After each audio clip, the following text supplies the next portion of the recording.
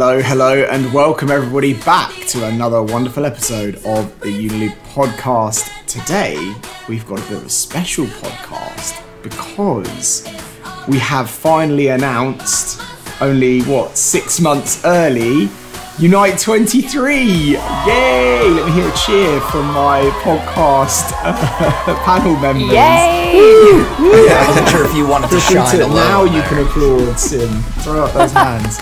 Um, so good. Okay, so if you're new to the Unily podcast, you're probably thinking, what's Unite? Well, I'm going to give you the quick rundown before we go and interrogate all our wonderful podcast panelists about everything Unite. So, Unite 23 is Unily's employee experience conference. We like to think of it as a lot more than just an employee experience conference. It's an experience in of itself. This year, we're coming to you September 13th and 14th for two full days of sessions um, with special guest speakers. We're going to be talking about implementing employee experience technology. We're also going to be tackling all the big themes internal comms, intranet governance, all of that wonderful stuff that really gets our audience uh, participating and keeps them up at night worrying about how they're going to really optimize that digital employee experience for their organizations. So we're going to be digging into all of that and much, much more. Now, if you're wondering about the format for Unite 23, because we have mixed up over the years, we've done all in person, we've done hybrid for multiple different cities around the world. Well, this year, again, changing things up, uh, we're providing a number of different ways for people to attend. So the first thing is you can come in person to both full days and join us at a wonderful location in London. So all the sessions live on stage, lots more room for error, which makes hosts like people on this call very nervous. But um, don't worry about that. Come down, see us in London. Now, if you can't make it to London, not to worry, you can do hybrid. Maybe come for one day um, and then watch the other content online. Some of that content is going to be live streamed. And then finally, of course, you can just go remote entirely if you'd like and just check out all of those sessions in the live stream. But the most important thing is there are no pre-recorded sessions. No matter what way you choose to enjoy Unite 23, it's going to be live, live, live. Um, Kaz laughing. He knows we love live, live, live.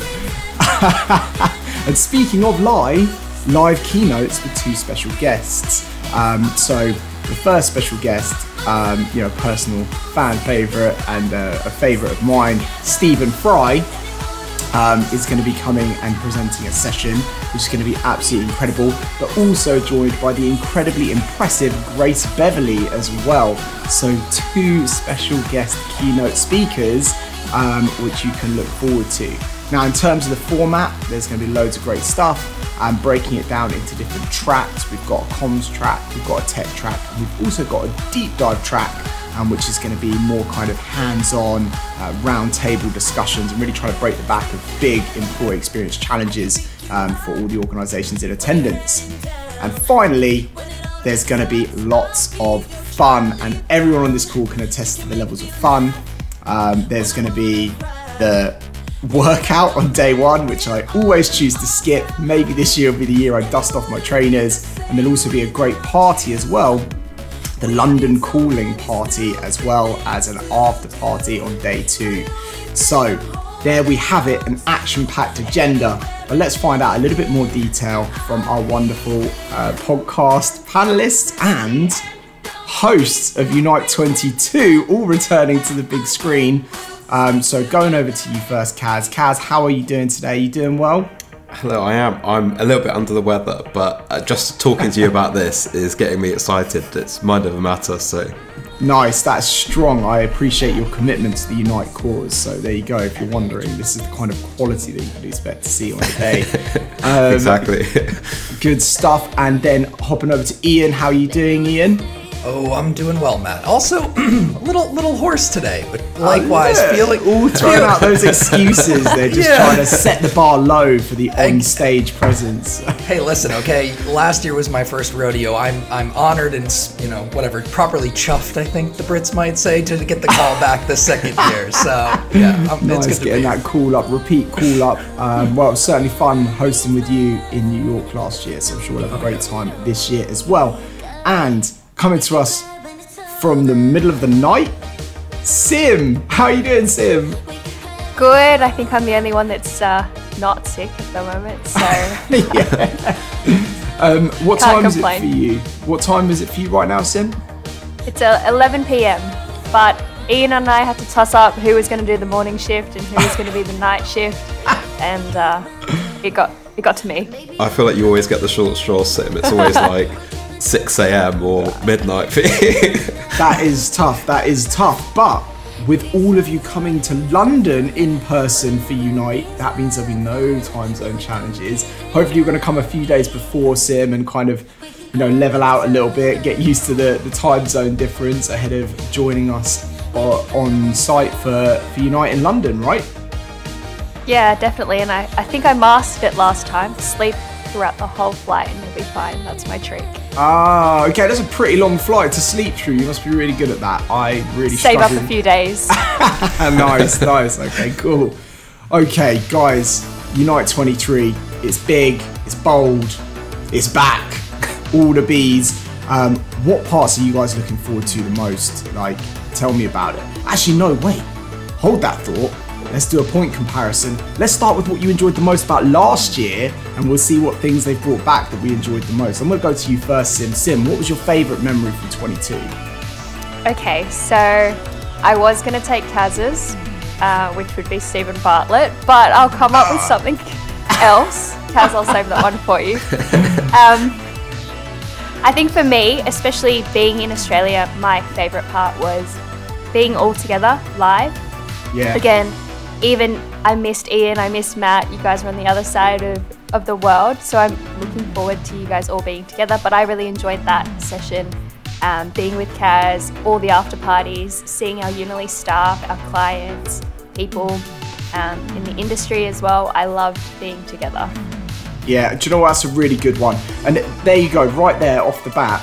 With now every session being live from one location, a bigger opportunity to bring to you know bring all these people together, right, Sim? So like you know even more opportunity for you know us to connect and to connect with with our, our wonderful audience as well. So you're really selling the in-person lure. Come meet us in London. You know, we're as much fun in person as we are on the podcast. We might even And be if more not, fun. you can test it. yeah, yeah, yeah, yeah. okay, that's a really good one. In-person connection, and do you know what? We've lost a little bit of that over recent years. So it is quite a unique um, opportunity, which I think we should all seize more of. Um, okay, Ian, coming to you because you're next in the lineup on this uh, recording screen. Unite Yeah, I got- 22, best bit. You know, honestly, I there was a lot of sessions I really enjoyed, but I'm not gonna quite say what Sim said, but I think like the chaos of it all was like something I didn't appreciate in the moment, but looking back, I was like, wow, what a time to be alive. All these producers, us scrambling back and forth, trying to make sure things are going in the right sequence, we get the timing right. So that, honestly, the whole seeing how the sausage got made was my favorite part. I think. Um, I hate that metaphor, but it's all I got right now. yeah, it's pretty Um, nasty metaphor. yeah, yeah. But, but I mean, sessions with you know Katie Goodyear were great um, from CA. Yeah. She had a really interesting one around adoption. It was great catching up with like Seth Godin before and after the session that he did. Um, you know, Yeah. it's really it's hard to put your finger on just one thing because there was so much to talk about. yeah, a lot goes into it. I think the chaos is something to be embraced with any kind of big conference like this. You just kind of have to expect the expected, as we There always say, and just kind of roll with the punches. But it's great fun, right? Like you know, that's part of what like brings so much energy to to the Unite conference. Is that you know we put a lot of time and effort into it, and then um, all hell breaks loose on day then you don't one. know what's gonna happen. You never know. You never know. And last, but by absolutely no means least, Kaz, host the show. Just buying time, man. He's back. um, so Unite 22. I mean, you know, best bit for you.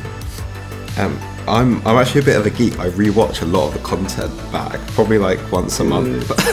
They're all on YouTube now, so if anyone out there didn't miss one of the sessions or is just joining this year, you can go back and watch it.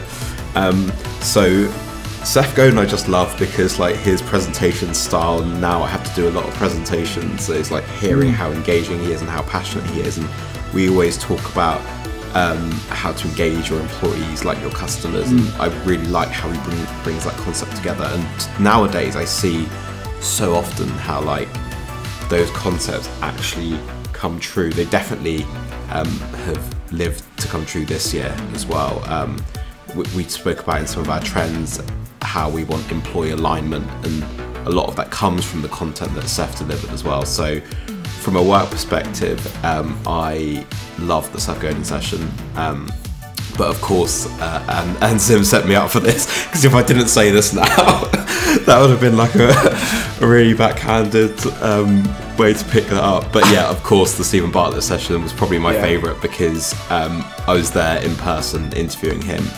and um, I've, I've watched it back as well, and like he's just so, and you feel it in the moment. He's so um, he's so interested and so intelligent when it comes to like understanding the employee challenges. You see the kind of knowledge and the, the the knowledge he's picked up from interviewing so many different people and being able to just tap into that even for a short while. I think was incredibly useful for whoever was in the audience, whether you're in HR, whether you're in IT, in comms. There were so many tidbits you could take away from that that um, I think were, were incredibly useful. So yeah. Yeah. Do you know, I thought that was a really good session as well. Um, that was really good. Um, and I think for me, I'll tell you, my favourite bit has to be the the kind of the speakers, the case study stories. Um, like, you know, collectively, there are some standout ones, but you know, I don't play favourites. I'm not going to call out specific sessions. However, I mean, like, you were literally just naming. So, who should attend Unite? That's a great question. Internal communicators, HR, you know, um, IT. There's something for all of these kind of, um, you know, different roles within the, the modern enterprise. Um, and there's something to be learned from almost every session across all of those disciplines. And I think for me, that's why my favourite bit is the customer stories because they get you really close to what's actually happening. You know, we talk a lot about like the theory behind how you can increase engagement and you know how internal communications has a really significant role to play in you know retaining top tier talent and you know driving um, you know uh, higher levels of, of employee engagement across the organisation, but actually hearing how that's been implemented in different organisations, especially those businesses which are operating at scale across across the world. Um, it's just really interesting. It's the kind of insights you just can't get anywhere else. So for me, I think those kind of case study tracks are always really good. Um, although I'm always starstruck by the uh, the guest speakers, uh, but but that's all good. Okay, yeah, I mean like incredible, incredible stuff from Unite 22. I'm surprised no one said the after party, probably because you guys don't remember it. You were all too uh, enjoying yourselves, shall we say?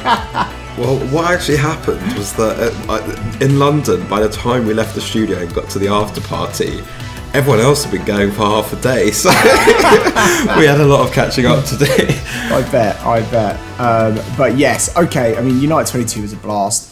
Unite 23, I think, promises to to top that. We always push ourselves to do more, to do even better than the year before. I think it's so good that we're getting together in London. But let's take a little look at that agenda together now, um, and you know.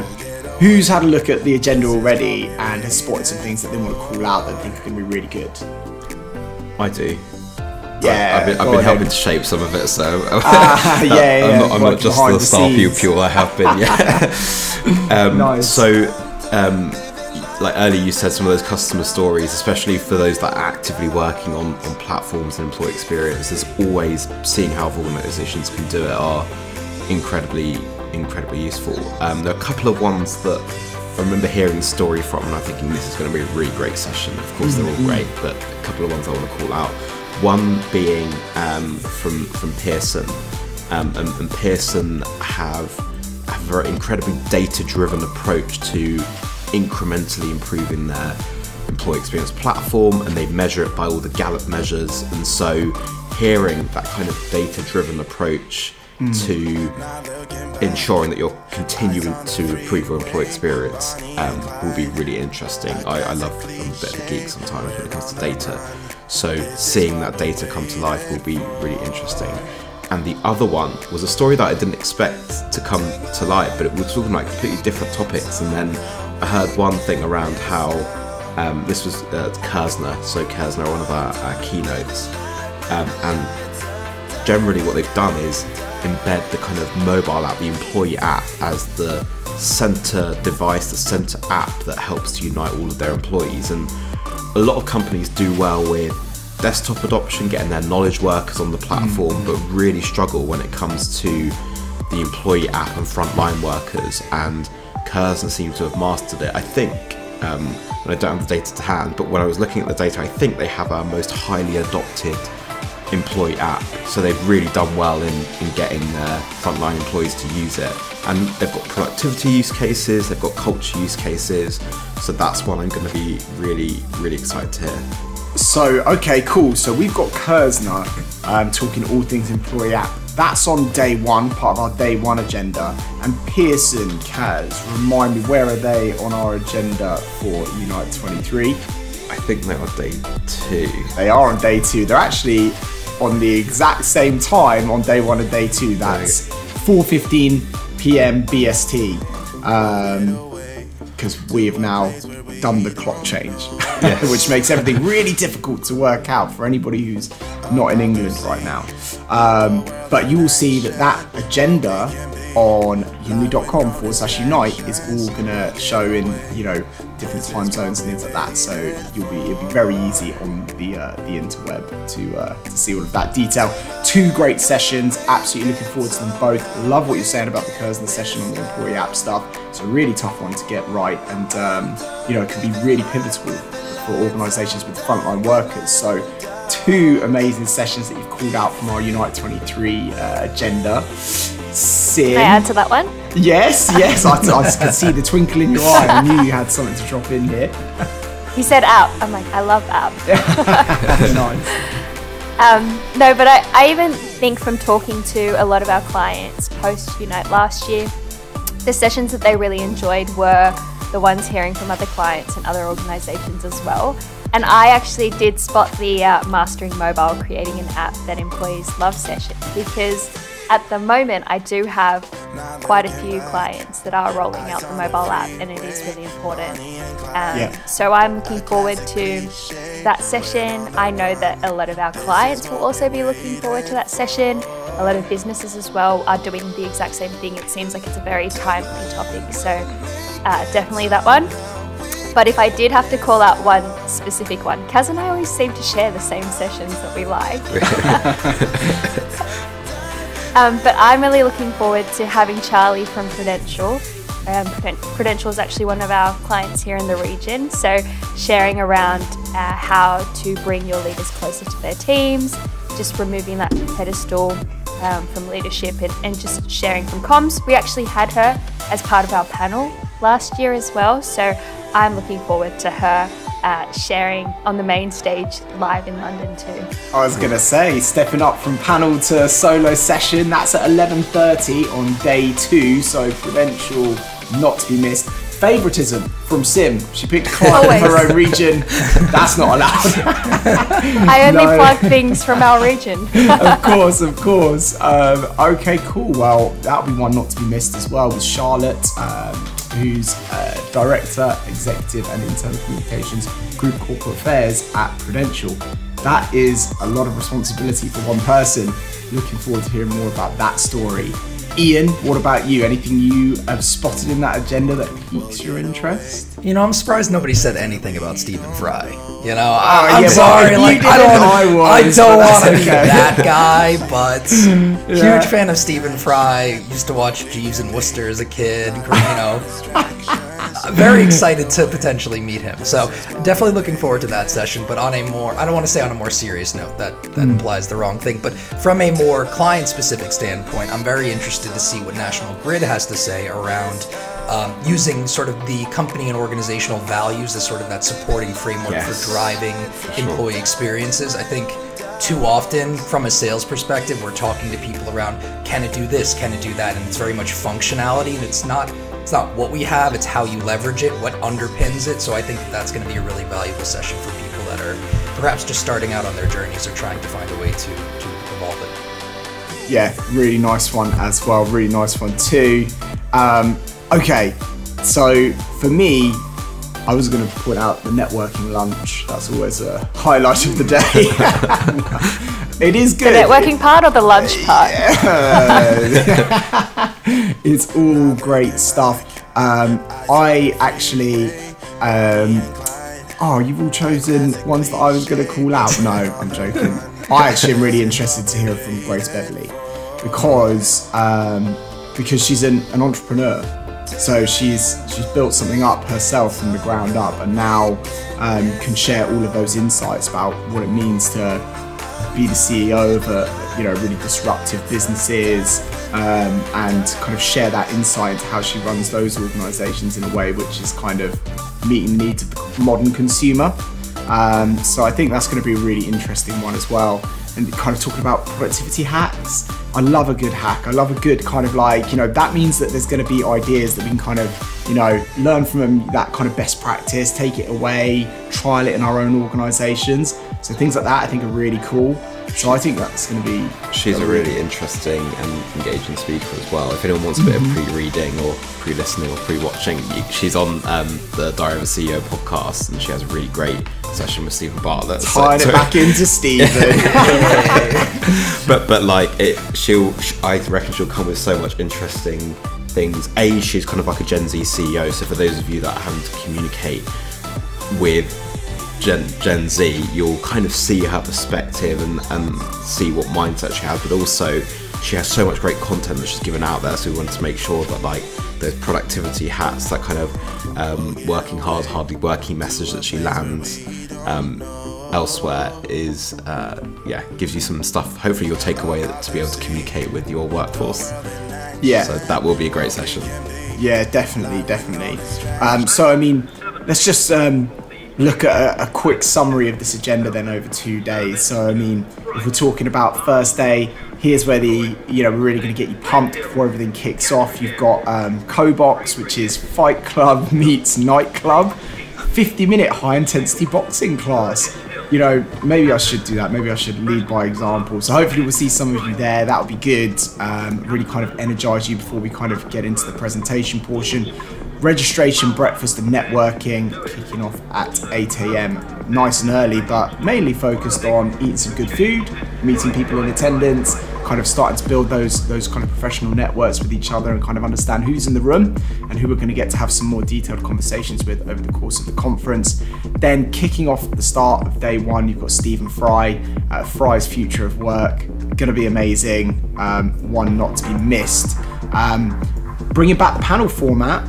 Ask an internal comms expert, Kaz. You've been hosting these uh, Yes. online for a while now. So that, that format that we trial became so popular both in the session in Unite and following up as well because ultimately people start the year and uh, as you get towards the end of the year people have loads of questions. You know is this a problem that's unique to my organization? Um, how are other people dealing with this challenge? How are they dealing with leadership comms? All these things that just being able to hear from other organizations directly what are you doing for this or what do you think about this? Seems to be proving really popular. So back again. Yeah. Yeah, definitely, definitely. And then we're hearing from iRobot as well, who are going to be talking about how a small team running you know, an out of the box intranet product and maximizing its potential, which I think is really important. You know, we're more and more being asked to do more with less. So, how can productized solutions, you know, productized intranets really still meet the requirements of the modern enterprise and be run by small or lean teams? Um, so, that's going to be great to hear from iRobot. And then the the deep dive piece, the kind of, you know, uh, roundtable discussion forum bit on day one, jumping straight into content governance. I think too often governance gets a bad rep. You know, we're going to be talking about the challenges of governance and why it's so important, right? You know, as we push these employee experience platforms forwards, we need to be cognizant of how we maintain their value over time. So that's going to be a really good one. Leading us straight into a networking lunch. Um, we'll be, you know, loitering in the room if you want to speak to us at this point. Um, but probably just kind of relaxing and getting ready for the afternoon because we're coming back with more great content. Um, so, straight off the bat, you've got realigning employees behind your values in a hybrid world. So, digging into the kind of hybrid scenarios and how you can still kind of maintain high levels of engagement, maintain your company culture in the face of a more physically disconnected uh, employee base. Um, and that is the team at National Grid. Um, and another best practice deep dive there on information architecture. So, how do people navigate all the rich content you deliver in the digital employee experience platform? Um, that's going to be a really good one, balancing search against uh, content structures and using metadata and all those kind of interesting topics, which really maximize uh, our intranets. We already talked about the mastering mobile session, which is following on after that. And then we've got a session on the future of intranets. So, kind of turning our attention to the future and what you can expect from the next decade of digital employee experience innovation. So, that would be a really interesting one as well. And then finally, uh, we have a content relevancy deep dive as well.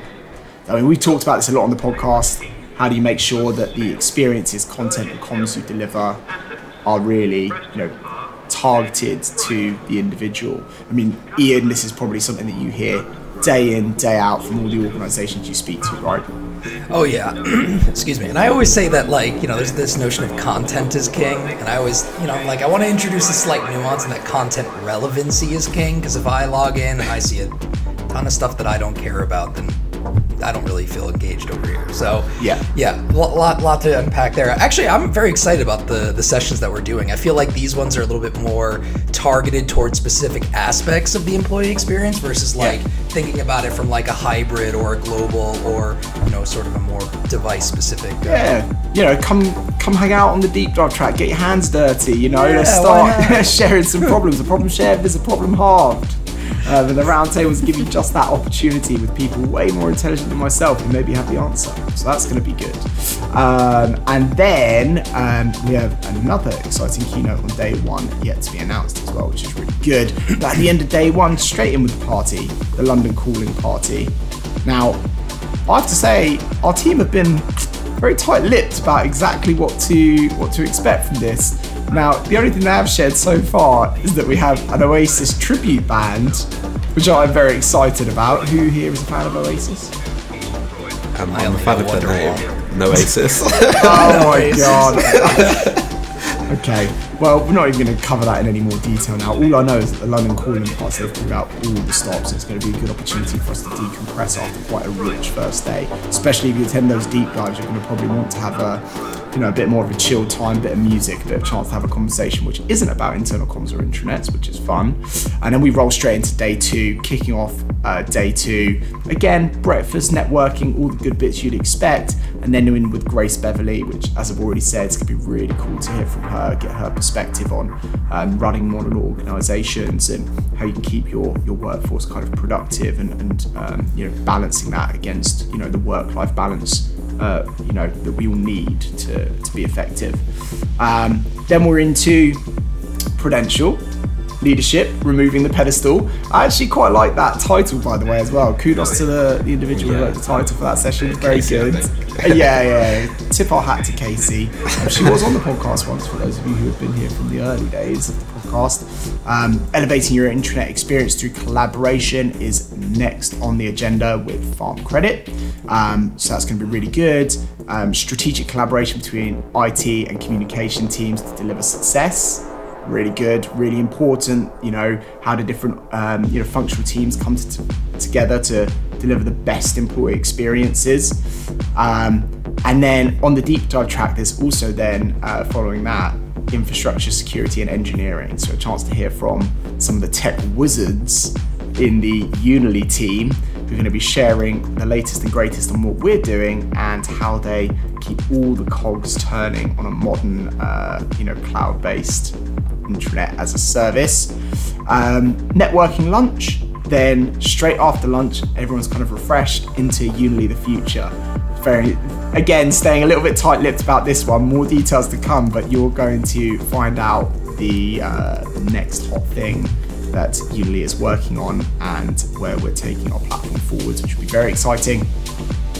And now, sadly, into the last few sessions of day two, um, everything under one roof, weaving together a global and regional digital experience. Um, and that's uh, with Anne Marie Ferrara, who's Global Digital Experience at WSP. Um, so, really interesting session as well. Um, deploying an all new employee experience platform to level up engagement for 66,000 employees, a very diverse workforce. So, again, one of those really good, um, you know, up close and personal kind of customer stories, kind of dig into the detail there. Um, then you've got engaging your front line, uh, another session following on from that. Um, tackling the frontline worker disconnect, which, as we've said, is a really critical topic at the moment. And then we have a session on getting started with employee journeys.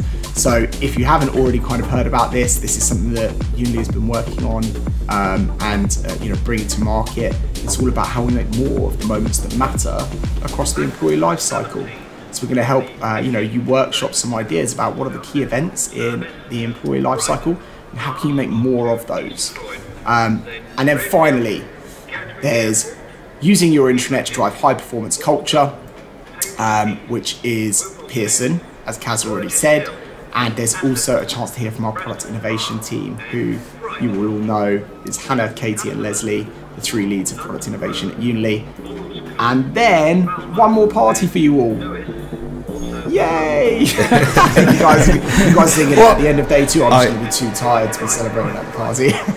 I definitely won't miss this one because if you Google the Libertine, it's basically in the vaults beneath the Royal Exchange, and it's um, it just looks so cool. I think it was built in like I don't know, like 1550 or something like that. Like, and it was where the first alcohol license in the UK got granted. so, so that should tell you a bit about how fun that's going to be.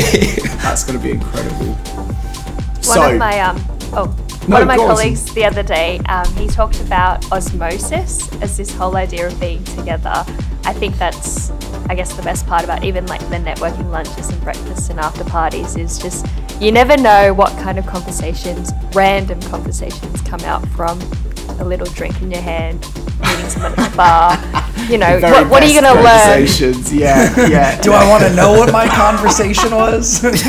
well, with all of that said, you're probably wondering, Matt, this all sounds incredible. Like, how do I get involved? I'm going to tell you right now. Unily.com forward slash unite. If you're an intranet manager, you work in internal comms, you work in HR, you work in IT, you work in digital employee experience, or have a vested interest in delivering a better digital employee experience for your organisation and crucially your people, unily.com forward slash unite. That's the URL you need to remember, and you need to click on that register now button. It's pink, you can't miss it, and from there you can get signed up, attend how you like in person. We'd love to see you. If you choose remote, I'll be a little bit sad, but you know, I'll get over it. And otherwise, we're all looking forward to it. September 13th to 14th. Game on. Hi, I'm Grace Beverley. I'm an entrepreneur, author, and host of the Working Hard, Hardly Working podcast. I'm super excited to share that I will be headlining Unily's Employee Experience Conference, Unite 23, this September. Um, I'm going to be doing a keynote, Working Hard, Hardly Working, productivity hacks for your workforce, and I can't wait to see you there.